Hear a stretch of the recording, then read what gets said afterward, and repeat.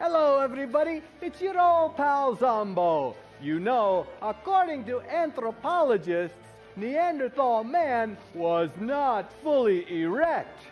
That's because Neanderthal women were so ugly. And we'll be right back to our very scary movie, Prehistoric Women, after these important messages from our sponsors.